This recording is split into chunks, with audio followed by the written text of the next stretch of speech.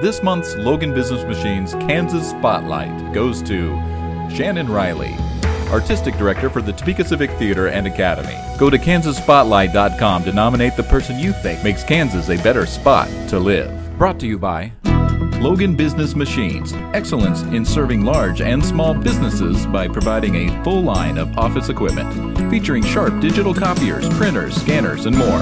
Locally owned and operated in Topeka for 43 years.